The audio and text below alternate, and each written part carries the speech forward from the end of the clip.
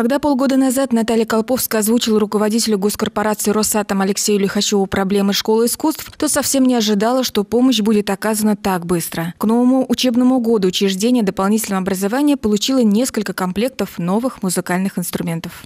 Он пообещал помочь, и обещание свое выполнил. К нам приехали 9 баянов-аккордеонов, 5 гитар и 2 саксофона. Это очень большое пополнение инструментария, такое глобальное, его очень давно не было. Большая часть музыкальных инструментов, на которых играют дети, уже давно обветшали. Новые рассчитаны на разный возраст детей, а это значит, что обучение игре на них станет более удобным и комфортным. То есть появились и маленькие баянчики, аккордеончики, и побольше. И я думаю, что это облегчит существенно учебный процесс наших преподавателей. Инструменты еще не распределены по классам и стоят в коробках, но уже совсем скоро они наполнят своим звучанием стены детской школы искусств.